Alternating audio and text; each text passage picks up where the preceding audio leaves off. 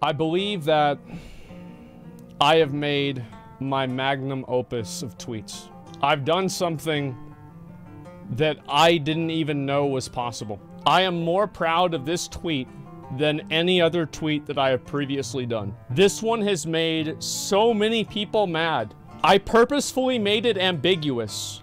And there are people in the comments that are talking about the fact that they think that I had a trans awakening.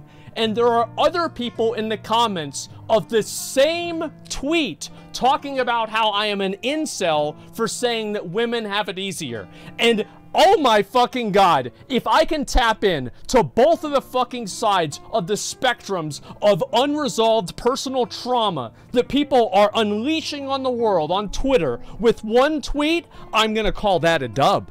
Holy shit, people are fucking crazy. I'll read some of these comments. Uh, let's see if I can find some more of them. OnlyFans win. It's fun, right? And this is another guy thinking that I'm gonna start dressing up like a girl. Some of these people become a waifu. It's your destiny. Transition. Sir, have you tried estrogen? You know what you have to do. Chop it off.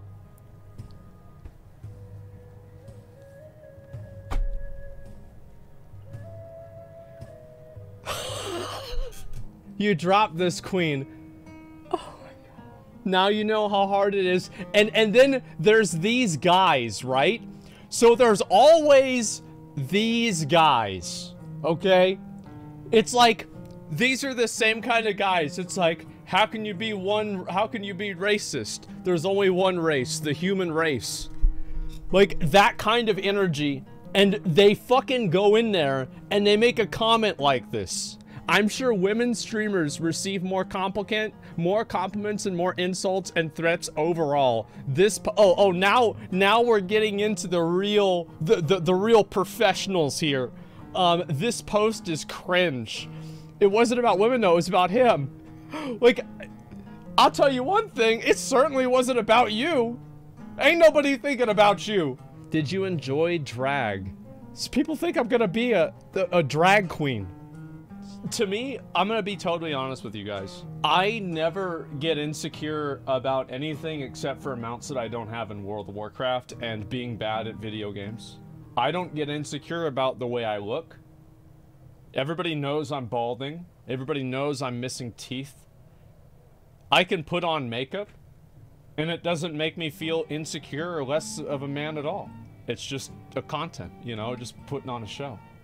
It's it's funny. People think it's funny. You just do it. I, I I don't know. Like I did not even I did not even know that this would be a point of contention. Like guys thinking like, oh well, you know, you can't do that. Like why? Why can't you do? You do whatever the hell you want. You're a fucking man. Imagine your dad saying that though. Funny you should bring that up. Yeah. I look what? You look really great. What about Miz? Who who looks better, me or Miz?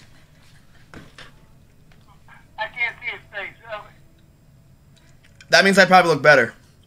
I don't know. It's kind of a tie. I mean, it's a tie for who can go lowest, you know?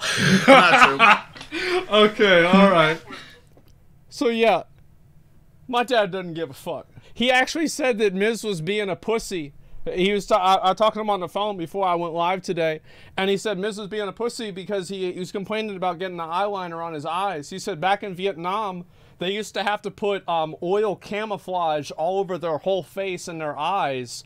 Uh, and they'd have to sleep in it even because they wouldn't want the Viet Cong to see them. And he's like, and Miz's complaining about eyeliner being put on by a girl. Like, what, why are you doing that shit?